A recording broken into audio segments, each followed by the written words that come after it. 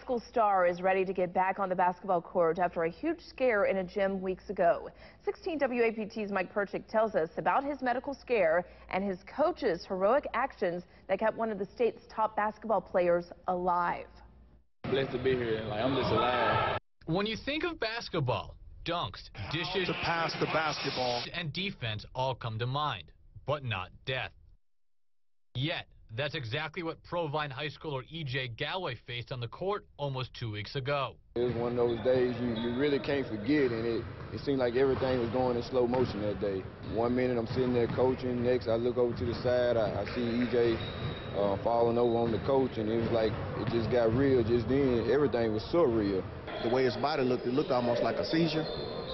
But um, when we stretched his body out and realized that he was kind of gasping for air. He immediately started CPR uh, to try to save his life. I was scared. I was really, really scared because I never imagine in a thousand years, I mean, I've been CPR certified for longer than I can remember but never imagine having to use it in a real life situation.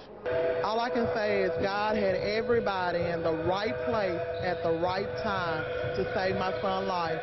Swinney and Gaines, along with two other coaches, worked on Galloway for nearly 10 minutes, waiting for paramedics to arrive. He was in full cardiac arrest. No pulse, no heartbeat.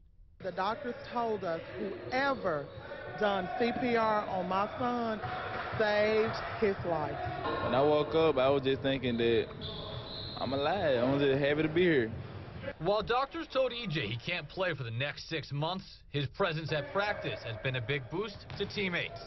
And things didn't get back to normal until he walked through that door, and it was like a burst of energy just, just ran through the team.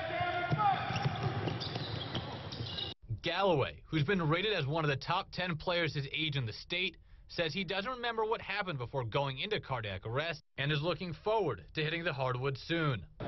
It's going to be a pride in my heart that I better get on the court. In Jackson, Mike Perchik, 16 WAPT News.